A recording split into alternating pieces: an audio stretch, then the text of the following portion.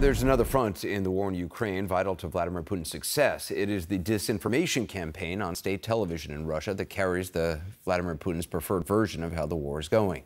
The New York Times recently spent more than 50 hours reviewing Russian television. Its conclusion is that Russian disinformation is not solely intended to convince viewers. Just as often, the Times writes, the goal is to confuse viewers and sow distrust so audiences are not sure what to believe. I'm joined now by the author of that piece, the Times' of Stuart A. Thompson. Stuart, thanks so much for, for being with us. So I want to play a clip from Russian TV on the sinking of the flagship Moskva that you used in your piece. Let's take a look at this. Начнем с новости о ЧП в Черном море. Ракетный крейсер «Москва», флагман Черноморского флота, получил серьезные повреждения из-за пожара и последовавшей за ним детонации боеприпасов. Как сообщили в российском Минобороны, экипаж был полностью эвакуирован, крейсер сохраняет плавучесть. Решается вопрос о буксировке его в порт. Причины ЧП сейчас... So there, there's no indication that the ship was attacked by, by Ukraine. They claim the entire crew was evacuated. How did the story, as it was told to people in Russia, progress from there? Yeah, they uh, started off by trying to explain away the attack as not an attack, but a fire, an ammunition fire. And then as they were towing the ship back to shore, they uh, it sank in a storm, as they described it. So they you know, really adjusted their story as the news unfolded, but really trying to cast it as not an attack, but you know, sort of an accident, and just trying to save face for you know, losing a ship, and not only that, but the equipment, and you know, they're very proud of that ship, and also the people on board. That's a, a big strategic loss for them, and really shows how they try to spin uh, strategic losses for uh, you know Russians at home uh, and save face on the morale front as well. What does Russian media say about casualties in the war? Yeah, so far they've been uh, downplaying them. Obviously, in March they did start to acknowledge the casualties, but U.S. estimates put them much higher.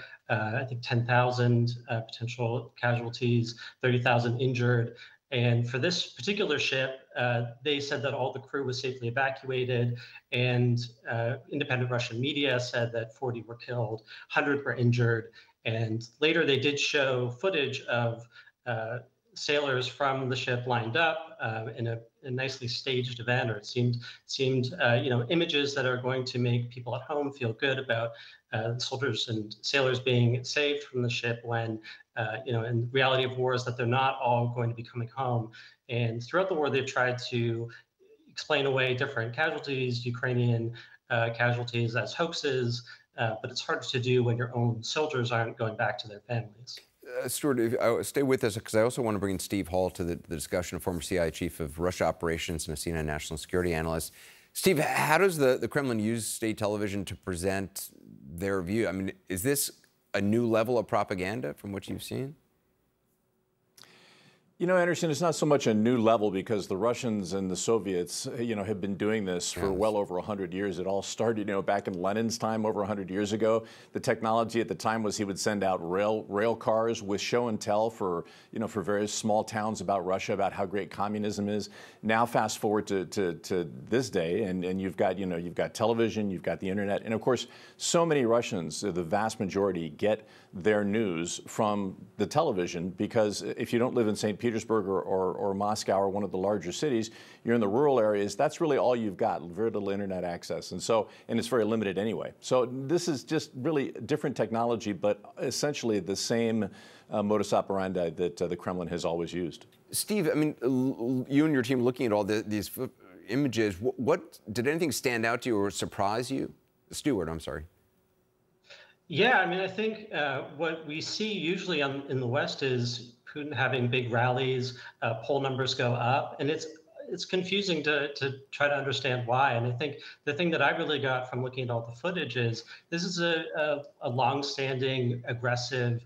Uh, regular pattern of trying to spin events and really anything we've seen uh, you know casualties in Bucha, uh, nuclear power plant uh, skirmishes that result in a fire that uh, raises a lot of alarms. And all of those events are spun in one way or the other with a pro-Russia bent, uh, really leaning into uh, historical narratives that they've relied on for a long time. So blaming neo-Nazis, that's one thing that we saw all the time.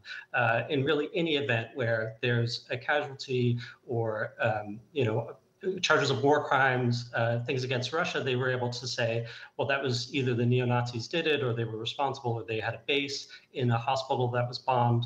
So that was a, a big feature um, and something we're aware of, but it really did stand out on the, the programming. Steve, there are a lot of people who have spent their entire careers trying to figure out what's happening inside the Kremlin. Is it possible to get a sense of the Kremlin's thinking by looking at what they put out on state TV? Yeah, I think it's a, I think there there is a there is a sort of an optic there. It's it's like you know open source intelligence when you watch what they're putting out in these very shiny Western looking you know CNN looking uh, look, looking studios. Uh, and you know the reason that it's important to watch this, and you know God bless Stuart for putting in all those hours. I certainly wouldn't want to be watching that all day long. But it's important to do it because Russians have screwed up. The Kremlin has screwed up in the past uh, on this. You'll recall there there have been previous wars in Chechnya and uh, also um, in Afghanistan where there have been protests because mothers have started talking about their sons not coming home.